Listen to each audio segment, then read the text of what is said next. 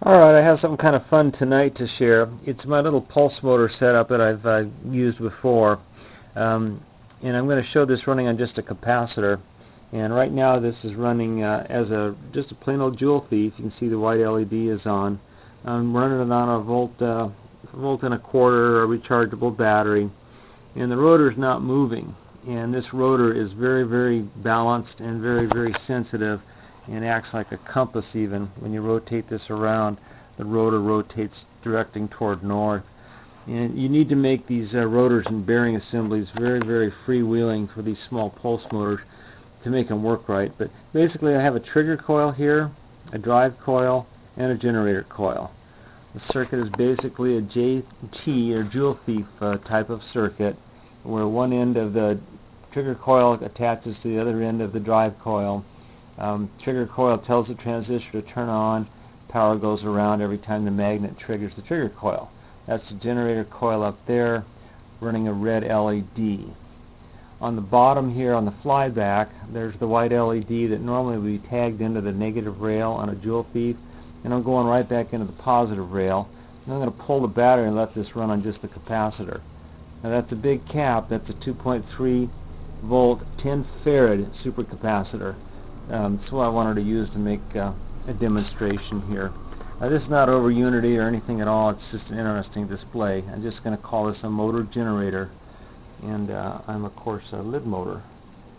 And this is the 26th of December, day after Christmas, 2010. I'm going to show Maggie being driven by her little uh, spinning ball in her mouth there. As this spins up, it's going to make Maggie go. Okay, here we go start it up. And there goes the generator light. You see the motor is now running. Okay, now Maggie's not on. I'm going to start Maggie up here. Let's take her over here and start her up.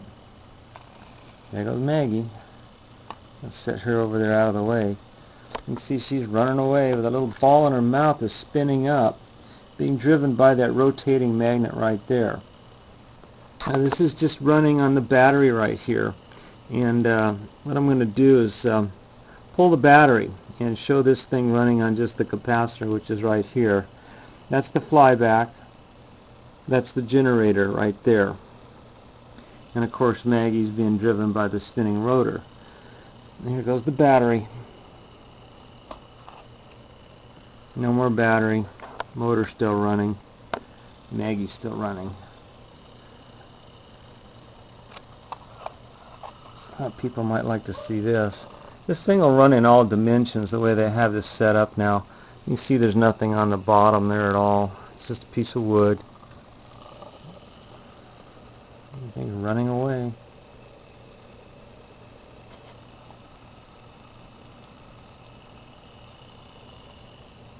One of my most popular videos was a little pulse motor that ran on capacitors, so I thought I might uh, give people a treat and show this uh, capacitor running thing. It is kind of neat to see something that's not got any battery in it at all. It's just running on uh, energy stored up in a capacitor.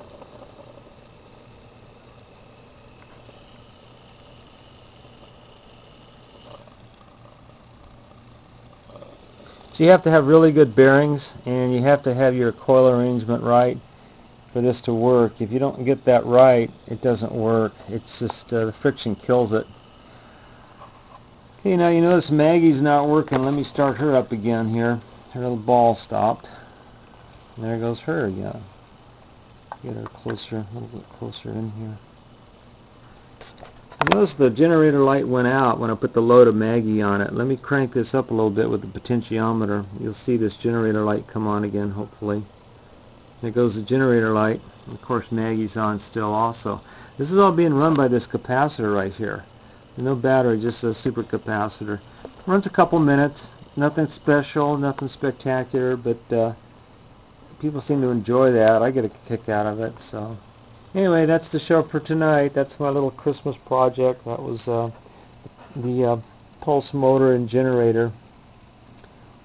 A lot of fun. Thanks.